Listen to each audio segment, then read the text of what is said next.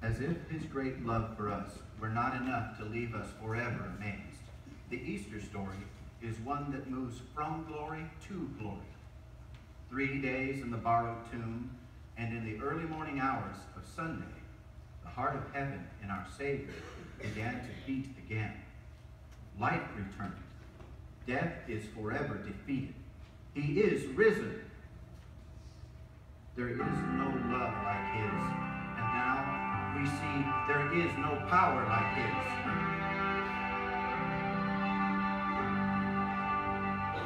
I believe in the Son. I believe